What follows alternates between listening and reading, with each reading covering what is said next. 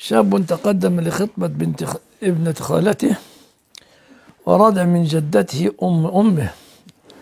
لا يجوز أن يعتبر خالها خالا لها من الرضاعة.